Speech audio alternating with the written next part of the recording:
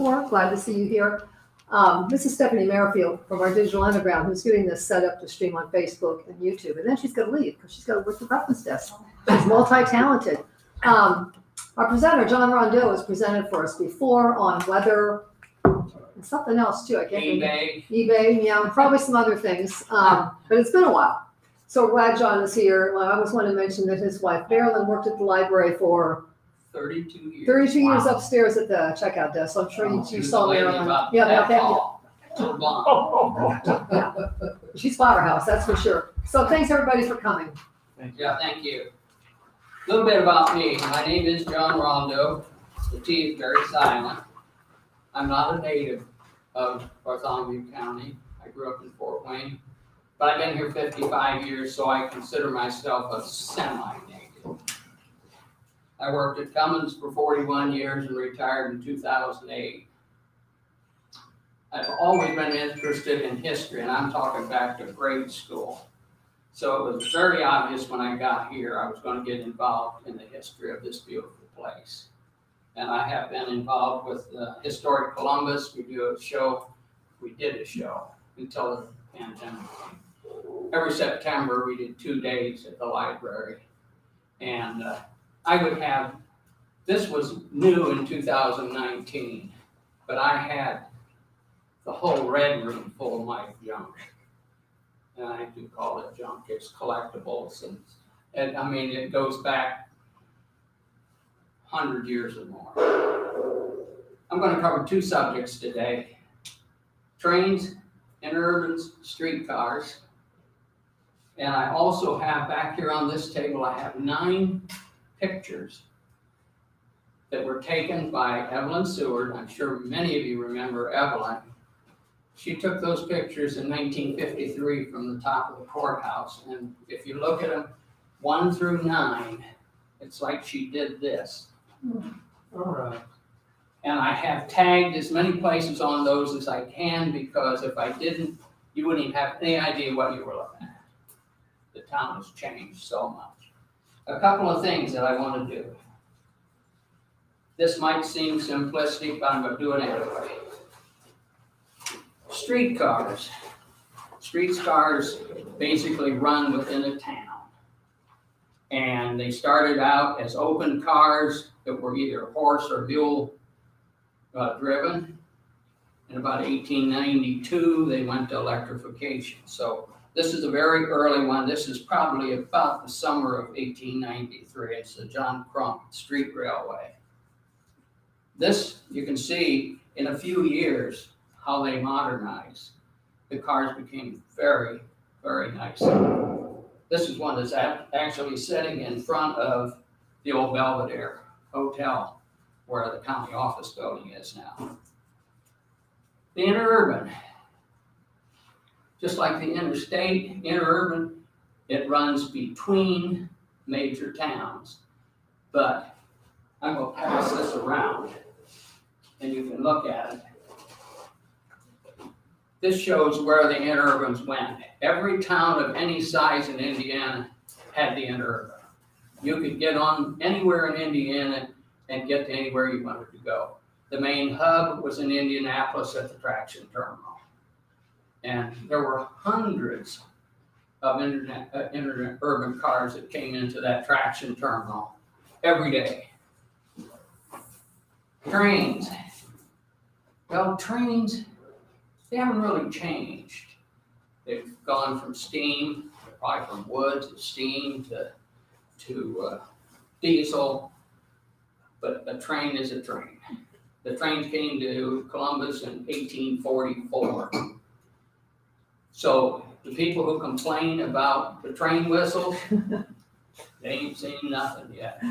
Because there used to be twenty-seven steam trains a day in nineteen twenty, went through this downtown area. And I mean literally through the downtown area. How many? How many? 27, 27 steam trains, forty-five interurbans, and untold number of streetcars that ran on an hourly schedule. So it, had to be wild. Interurbans and streetcars running down the middle of Washington Street. a train going diagonal across Fifth and Washington. If you remember, they had the buildings that had the slab sides, and you said, what's that for? Railroad went right through there, across the street from here where First Christian is now. That was a railroad yard. A complete railroad, railroad yard with stock pens and warehouses and everything else. It's right in the middle of town. There were two railroad stations in town, one at Third and Chestnut, and one at Seventh and Jackson. And all these trains came through the downtown area. So it, it had to be, uh, just with soot and smoke and all that kind of stuff, I, I just can't imagine what it would be like. I picked nineteen twenty, and I, I picked the date, because it was the heyday of public transportation. The roads weren't very good yet, cars weren't very dependable, people wanted to get out and go after the First World War. And so it was, it was when it was at its height. And a lot of people don't realize that the interurban started about eighteen ninety-five and ended here in nineteen forty-one. September the eighth, nineteen forty-one. And I am a firm believer, if it had lasted three more months, when Pearl Harbor was bombed, and then you couldn't get tires, you couldn't get cars, if we'd have had the interurban then, during the war, we'd still have it. A Little bit of information for you. When the railroad reached Columbus in eighteen forty-four, there were less than a thousand people here. In nineteen twenty, the date of all this stuff, it was less than nine thousand. So it was still a very small town, but the railroad is what probably made it. Because then the, the different factories came here and those kinds of things. Current population is fifty thousand according to the, according to the census. I'm not gonna, tr- uh, describe the trains in a whole lot of detail because trains are just trains. They've been here hundred and eighty years and they've changed, but they still do the same thing. We have one railroad still runs through, still run on the main line that came here in eighteen forty-four, and that's the Louisville in, in Indiana. It's been here for about twenty-five years.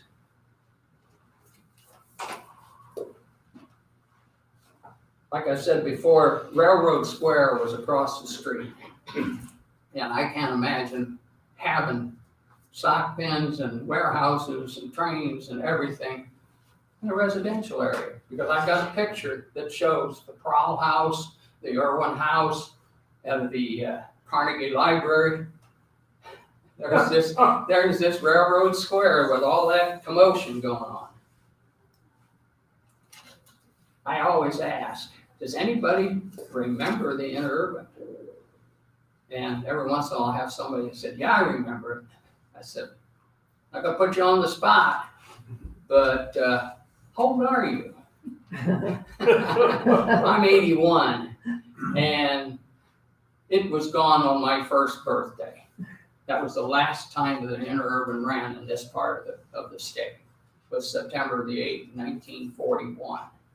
So they may remember it from their parents talking about it, their grandparents talking about it, but actually to see one or ride one, I don't think so. John, is that one stopped running in most of the state? Or do It you was, know? it was shutting down in the thirties. Okay. Seymour to Louisville shut down in nineteen thirty-nine. There was one car still running on the Seymour to Indianapolis leg. It had an accident at Azalia on September eighth, nineteen forty-one. Uh, it was a situation where tr- the last car running broke down. They sent a maintenance vehicle from Columbus and didn't realize that he had gotten gone, gotten going again, and they came together. There were, two- I think, two fatalities, and that was it. That was the last time anything ran on those tracks. Um, Joseph Irwin is the one that actually started. I'm going to talk a little bit about the uh, in- interurban, interurban here. he started most of the interurban in this area, and then it changed hands, and I have all that information here, it's how it changed hand, and who owned it, and those kinds of things. But, uh, as I said, during 1920, 45 interurban cars ran through Columbus every day. There were multiple stops in Bartholomew County, I think there were 21. As you go north toward Indianapolis, you see stop 11, stop 12, stop 13. That's where, those were interurban stops. And they just numbered them. Like, I think we were like 43 through 62 or something. And that would county coming from Indianapolis, going south. The interurban in Bartholomew County paralleled the Pennsylvania main line, which the Pennsylvania main line is still there. And you can still see, if you're up on the Humpy, what we call the Humpy Bridge there on National Road, where the train yard is off Yeah, to yeah, the yeah. southeast there. If you look at the telephone poles, they're set off 20, 30 feet. Well, the thing is, the interurban ran right beside on east side of the main line. They paralleled each other until it got to about 13th Street, or maybe a little bit north of that, where Newsom is. There was a bridge across the, the river there. It went up Newsom, turned south on Washington, went south on Washington to Second Street, Second Street out about, I'm gonna say a little past Chestnut, and then turned south and went down to Azalia. So they had a double wide tracks, two sets of tracks about 13th Street, so that the the streetcars and the interurbans could pass on Washington Street because they were all using the same territory. Were the tracks for the railroad and the interurban different width? Good question. I don't think so. Okay, I think they're uh, they're probably standard gauge, okay, but that's a, that's a guess on my yeah, part. okay. no problem. That's a question that I need to. Of all the books I've got, I, I haven't seen anything that said any different. So I don't know, whatever, This guy knows. Thank you. So was So you the, men- John, is the interurban right of way marked by those power lines? I don't know that it's marked, but I know they redid some street crossings, some railroad crossings in Edinburgh last year. The tracks were still there. They were still in the ground. It seems like I have read somewhere that as Public Service Indiana came into being and the interurbans went out of, they bought the interurban right of ways to run power lines between the towns. It was the early days of electrification. uh, And I don't know, you know, as you go up thirty-one towards Taylorsville, you can see that, that line of poles that. Yeah. And, um, and I wondered if that was the interurban right of way. It would be to the west of those pole, that line of poles. So it'd be between that and the main line of the Pennsy. And I'd say Pennsy. My grandfather worked on the Pennsy, in Pennsylvania for his whole life, so all I ever knew was Pennsy. That's the Pennsylvania Railroad, so I won't say it over and over. That's all right. The street railway, as I said, runs just in town. And Crump started that in the, about eighteen ninety and found that it, horses and mules didn't do a very good job of pulling streetcars. So about three years later, they electrified it and their electrical power station was at the corner of Sixteenth and Chestnut, right on the would have been on the southeast part of the cemetery.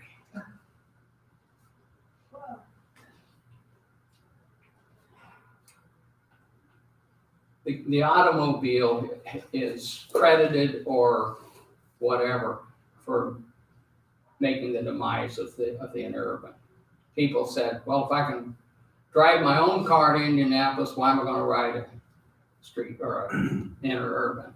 Streetcars the same way it went on a certain path. If you wanted to go someplace else, it didn't go there. So you'd either end up walking or doing whatever. There were eventually three routes on the, uh, on the street railway. There was the East Columbus route that went out Indiana and turned around. There was the, the main route, which was Third Street to Chestnut or Sycamore. They moved it over the years. And they go up to the power station and turn around. And then the third one was in the Orinoco route, just because of the furniture factory and those kinds of things over there. They had a short line that went, and they call that the Orinoco. I mentioned the, uh, power station at Sixteenth and Sycamore. Give you a little more detail, and if you have questions, please, please stop me. First electrified was in May of eighteen ninety-three for the street rail, street railways. The line was sold already in August of nineteen oh four, so they didn't stay in, in business very long. And actually discontinued running totally and went to buses in nineteen thirty-two. So it's, the streetcars didn't last thirty years. The main route was Crump's Theater on Third to Sycamore, north on Sycamore to Sixteenth, west on Sixteenth to Washington, and south on Washington, back to Crump's Theater. You gotta realize in nineteen twenty, the city limits was probably Thirteenth Street, I would guess. Cause I know Sixteenth Street didn't come into being in the city until in the twenties sometime, or maybe even thirties. The hospital was built in nineteen seventeen. It was out in the middle of no place. That's the reason they call it Bartholomew County, rather than the Columbus, Columbus Hospital was over on Fifth Street. Garland Brook Cemetery was out in the country. And, and then as Columbus grew, they just sort of grew around those things. Took years, but it happened. The Maple Grove line branched off at Seventh and Sycamore, ran east through the Maple Grove addition to Hutchins Street. And you, when we get, when I get done blabbing here, you come up here and look, and I've got these all mapped out here. Orinoco was a short line. The East Columbus line went, uh, out State Street to Indiana to Cherry and turned around. A lot of the, a lot of the electrifieds, when they had the wires up above, they would just reverse them and the car just wouldn't even turn around, it just go the opposite direction. With electric motors, you can do that. You don't have to run in reverse. Okay. Any questions about streetcars? Let's talk a little bit about the interurban. There were stations at Taylorsville, Columbus, and Azalia. Twenty-one stops in Bartholomew County. The passenger station was at Third and Washington on the, where the Commons is now. So you can imagine, people are trying to get on the interurban in the middle of Washington Street. Of course, there weren't many cars then, so we're probably all right. Hmm. The car barn maintenance shops was on First Street, behind where City Hall is today. And I've got a map here that shows exactly how that was set up.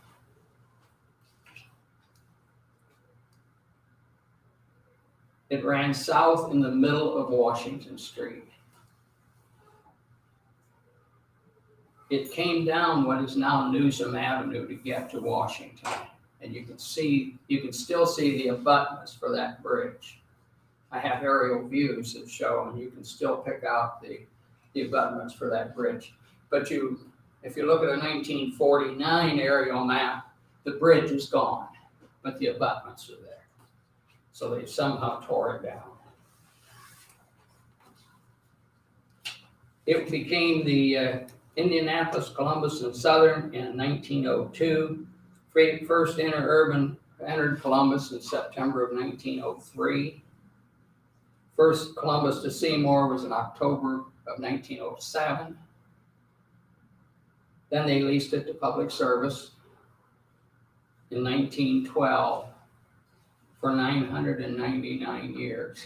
I, I think that's pretty interesting. It was reorganized, and then the uh, Indianapolis to Seymour was abandoned in September, September forty-one after the fatal accident. Seymour to Louisville had been discontinued two years before that. So it was dying very rapidly. I have been doing some work on a, a project for a lady that lives up in Hendricks County. She is old enough that she rode, she rode the interurban to Indianapolis to work. So she wanted to know what it was. So it's the Terre Haute, Indianapolis and Eastern was that interurban system. And so I've been doing the same kind of thing for her to try to get her more information about, about what she remembers when she was a girl. I think she's, she's ninety-five now, I think now. So she, she had a good chance of writing the, the interurban. Okay, we're gonna talk about the Pennsy. There were three of them. Three branches in Columbus, in Bartholomew County. The main line, which ran from, it ran through Taylorsville, Columbus, Walesboro, Waynesville, and Jonesville. Became, began, began operation in eighteen forties and reached Columbus in Ju- July of eighteen forty-four. So people that complain about the railroad coming into their territory, if they haven't been here at least hundred and seventy-five years, it's the other way around. The railroad was here and you build up about it, uh, uh, around it. If you go north on any of the major streets here, Pearl, Sycamore, Chestnut, between Fourteenth and Fifteenth Streets, this big hump, that was a railroad track. And they said, well, why in the world would they put a railroad track between Fourteenth and Fifteenth Street? They didn't. They put, put a railroad through there and town built Fourteenth and Fifteenth Street on either side of it. But that railroad didn't last very long. But now we've just got this big hump in the street. But I have to admit, when I first came here, I said, what is that big hump for? Well, when I started figuring out what it was, it's, this uh, main line is operated since 1994 as the Louisville and Indiana. And then the Madison branch is an interesting one. It ran through Elizabethtown, and in fact, Elizabethtown was the first town in the county to get the railroad, and it hmm. was in early of 1843. There's a monument up for that. Mm-hmm. What's that? They got a monument up for that. Mm-hmm. It, it ran diagonally across Washington, as I said. If you see some old pictures, especially from the forties and fifties, it's very prominent. The buildings were built on the diagonal. It was abandoned in, in nineteen seventy-one. So I moved here in nineteen sixty-six, and the Madison branch still ran through Elizabethtown and on down to, uh, on down to Madison. And it wasn't very long after we moved here that, that they tore up the tracks and it was gone. The third one is the Cambridge City branch. It ran through Farmerstown, which is a ghost town.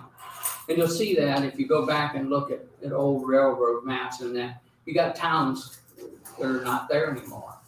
And I've, I did a study for the library a couple of years ago about the ghost towns of Bartholomew County. And what we found is a town would be here, and the railroad came here, they picked up the whole town and moved it over to the railroad. Now, isn't, that's how old St. Louis and St. Louis Crossing, wasn't Yes, that? It's exactly, like on eight hundred north. yes. Yeah. I always heard that story. I'm like, what? It ran through Clifford, and there was, there was a station at Clifford. It ran through Hagersville, which is another ghost town, and St. Louis Crossing in, uh, in Bartholomew County. There is a stop listed at Lambert Station. I have not been able to verify it at all, but I believe it was near the present airport, east of Marr Road and south of County, County Road four hundred north. Okay. I read about a Lambert station, but Robert, you may, re- I mean, that's your country. Yes, it's out there on Sons Drive, Sons Road. Uh, uh, you go up Marr Road and turn on that and, and it crossed right there. There, as I understand it, there was a coal yard there, there was livestock pens there, and there was a church there, and it burnt, the church burnt. And if you go back to the eighteen hundred and eighty newspapers, you know, there's a story about the church. At Lambert Station. Yes, sir. Thank you, Robert. I really appreciate that. What I always say when I do one of these things, I try to learn Yes. from the people that are here because I guarantee I don't know everything. I will do research and I'll go hunt stuff down, but nothing's better than someone saying, "Oh, I know that." That saves me a lot of legwork.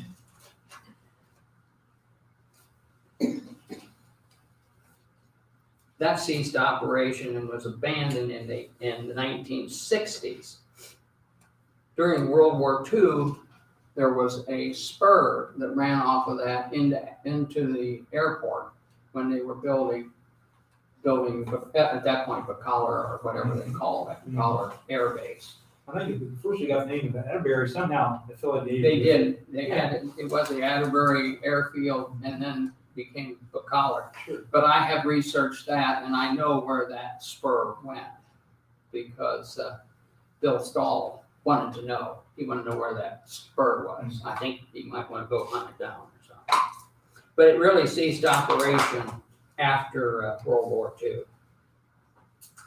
Next one is the Westport branch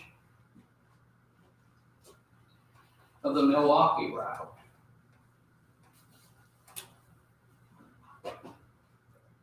And uh, Milwaukee route is the Chicago, Milwaukee, St. Paul, and Pacific. It stopped at Azalia, Elizabethtown, and Grammer. All had stations. Interesting, interesting one. It crossed the Madison branch of the Pennsylvania at the south end of Elizabethtown. Literally like that. There were no signals, so trains from either or any direction had to stop before they could proceed through that crossing. And I have a picture of it. It's it's really strange to see two railroad tracks, and I mean literally it's crossing like that. Sounds like right down the middle, right downtown Seymour. Uh, it ceased operation in January of nineteen sixty-one, so all this stuff is 60, 70 years, these spur lines and those kind of things. And the third one is the Columbus, Hope, and Greensburg. That's part of what they call the Big Four system. Their depot was on the south side of Third Street between Sycamore and Chestnut. And Cummins purchased that depot in March of fifty-eight. So by n- March of fifty-eight, that railroad was already gone. It began operations in May of eighteen eighty-four and was abandoned in nineteen seventy-three. Not right. Now, Okay. these maps show where these various, these various railroads are. So you have the uh, Milwaukee route, Westport branch, coming up through Azalia, through Elizabethtown, and on to uh, Decatur County. The main line is here of the Pennsylvania, this is the Cambridge route, went between Fourteenth and Fifteenth Street, headed north. The Columbus, Hope, and Greensburg left Third, Third and Chestnut, paralleled the uh, Columbus and Cambridge City branch till north of where National Road is now. National Road wasn't even put in place until the nineteen forties. But where Fazoli's is now, those two railroads were side by side. Yeah. And the Cambridge branch went straight north. Columbus, Hope, and Greensburg went out through Rugby and, and uh, some little towns out there. So what I'd like for you to have time to do is come up, take a look at this stuff, ask questions, uh, make comments. If you know something that I haven't put here, I'd like to know it. Because I, I change this as I get more information, as I do more research.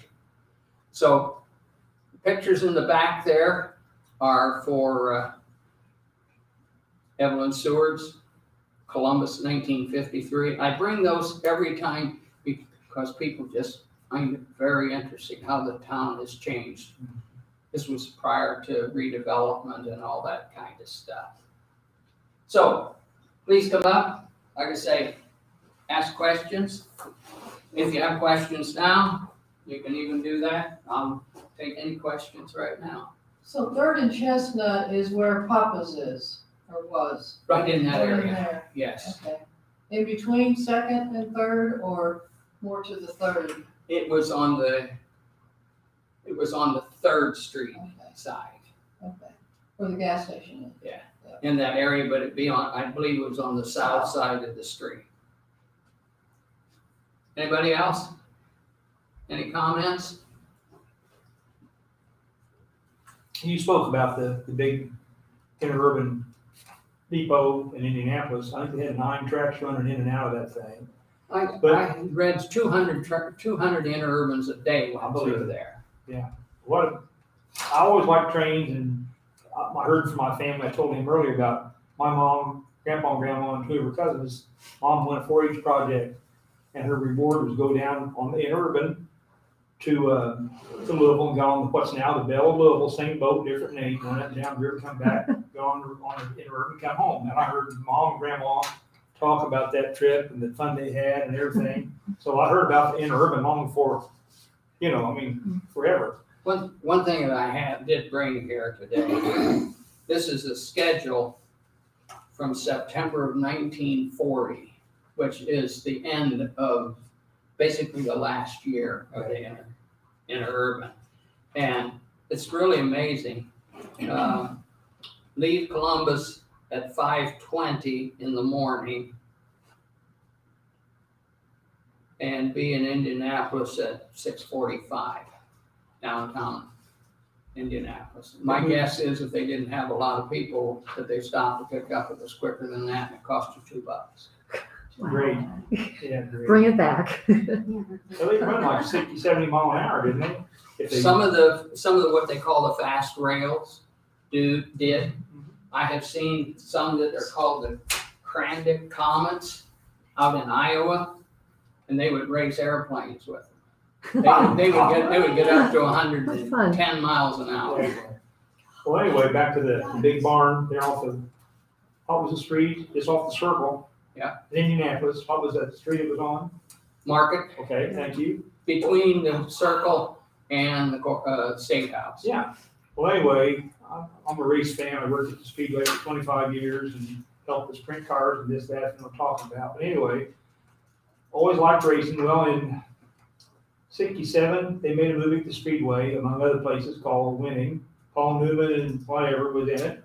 Well, it, it come to the Indiana Theater They're on Morrison Street with Cinerama, you remember those days. And had to go see that. So my wife at the time had a almost new sixty-six Mercury Comet Cyclone GT. She said, well, we'll take my car, but you gotta drive, 'cause I know nothing about Indianapolis. I didn't know much. I knew where the Indiana Theater was. So anyway, we, we went by the theater and said, well, there it is. Okay, where we park? Well, we went around the block and stopped, and there was a, a big opening there, parking like fifty cents or a dollar or something. So we'll park in there. And seen the movie, come back out, got the car and left, but that was the interurban barn. And they had public parking in there for a long time.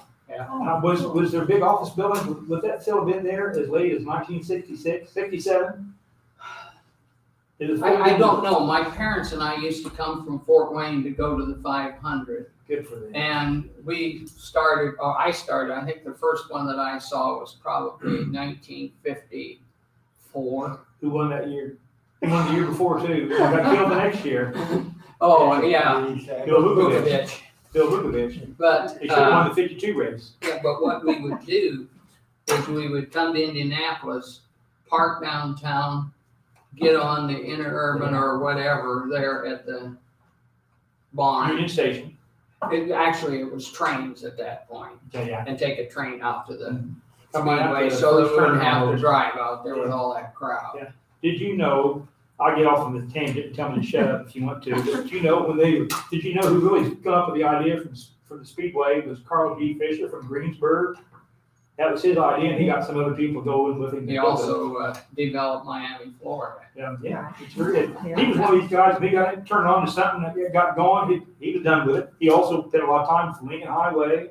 He was into fingering lots of pies. But anyway, they looked around and where to build this. They was gonna try to have a five mile track and maybe a three mile track. But they can only get enough land eventually to make a two and a half mile track, we all know and love now. But one of the places they went, because they had accommodations there, they had trains that come in, and that was French Lick. They thought about building the speedway at French Lick, and Probably couldn't find any flat ground. well, the thing, of- yeah, but what really killed it is they talked to the city fathers at French Lick and West Baden, said, hey, we're wanting to build this racetrack there, da, da, da, and they said, oh, okay. Well, all the main customers at French Lick and West Baden were gamblers and hoods out of, out of Chicago. And they talked to the, the clientele and they said, ah, that's the reason we get out of Chicago, to get away from this, that nonsense. And we don't want crowds and stuff. And French Lick said, forget your racetrack, we're not interested. So for your information. Thanks for listening. Anybody back there have anything? What were the accommodations on the interurban? There were dining cars, Yes. there were sleeper cars. Yeah. I don't know why you would have a sleeper car when you can go from Indianapolis to Louisville in about three and a half or four hours. I don't know, but there were sleeper cars. Um, there were freight mo, what they call freight motors. They didn't carry passengers at all, they just carried strictly freight. So it was, it was pretty widespread, the Mhm. capabilities of, the of the interurban. And they are just single cars, but every once in a while you'll see a tandem.